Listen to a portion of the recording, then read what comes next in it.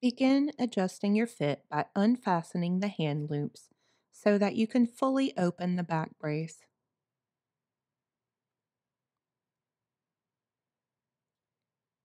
To reset the pulley panel, unfasten the hand loops and pull on each side of the waist panel.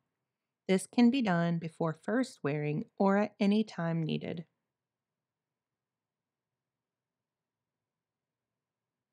To adjust the waist size, open the back cover, place the hand loops on the back panel so you can adjust the waist panels without them getting tangled or being in the way. Remove the waist panel by unfastening the Velcro, find your waist measurement, and fold the panel to the correct size. Measurements are located on the panel for reference. Once you have folded the panel to the correct size, replace it on the back of the brace, securing with the Velcro. Repeat this process on the opposite side, making sure both waist panels are adjusted to the same size. Replace the hand loops on the belt.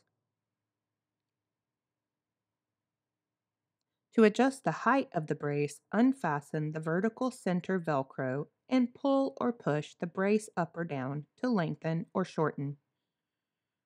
Resecure the Velcro strip in the center, then close the back cover.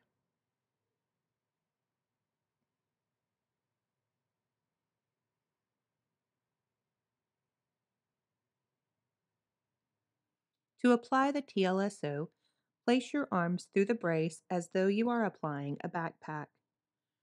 Wrap the waist panels around your waist and secure the Velcro in front. Take a deep breath in and pull the hand loops to apply compression to your comfort level. Wrap the hand loops across the front and secure them to the waist panel with the Velcro. Adjust the shoulder straps to a comfortable fit and snap the chest buckle into place.